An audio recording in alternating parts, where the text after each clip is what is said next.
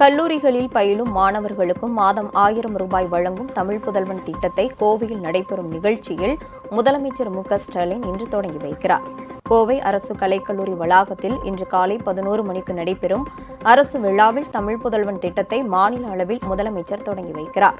இதே நிகழ்ச்சியில் பாரதியார் பல்கலைக்கழகத்தில் நாற்பது கோடி ரூபாய் மதிப்பீட்டில் கட்டப்பட்டுள்ள உயிரியல் துறை மற்றும் சமூக அறிவியல் துறை ஆகிய துறைகளுக்கான புதிய கட்டிடங்களை முதல்வர் திறந்து வைக்க உள்ளார்.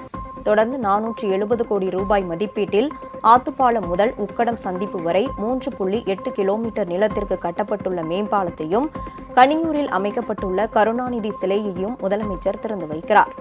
தமிழ் புதல்வன் திட்டத்தில் மூன்று லட்சத்து இருபத்தி எட்டாயிரம் மாணவர்கள் இந்த திட்டத்தின் கீழ் பலனடைய உள்ளனர் இதற்காக தமிழக பட்ஜெட்டில் இந்த ஆண்டு முன்னூற்று அறுபது கோடி ரூபாய் நிதி ஒதுக்கப்பட்டுள்ளது. உங்கள் ராஜ் நியூஸ் தொலைக்காட்சியில் திங்கள் முதல் வெள்ளி வரை தினம்தோறும் பிற்பகல் இரண்டு மணிக்கு உங்கள் பகுதியில் உள்ள குறைகளை நேரலையில் தெரிவிக்கும் புகார் பெட்டி நிகழ்ச்சி. பங்கு பெறுங்கள் பயனடையுங்கள் காணத் தவறாதீர்கள்.